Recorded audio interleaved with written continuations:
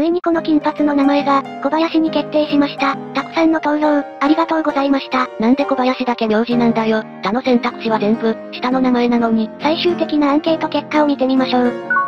うん小林の圧勝ですね。70%のまま、変わってねえじゃねえか。私が、小林以外への投票を、呼びかけた翌日に締め切るとか、もう悪意しか感じねえよ。なんのこったよ。これからよろしくお願いしますね、小林。やめろやめろ、気安く呼び捨てにするな。小林は本当は、どの名前が良かったんですか？これ完全に煽ってるだろ。お前後で覚えとけよ。後で分からせてやるからな。ん？